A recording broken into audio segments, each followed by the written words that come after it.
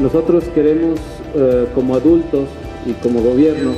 dejarles un mejor futuro a las siguientes generaciones. Eh, esos árboles que se van a plantar hoy, 60 árboles de prácticamente la mayoría de dos metros o un poquito más de altura, son árboles que ya tienen un tiempo por ahí en los viveros, ¿verdad? Este, es un donativo que nos dio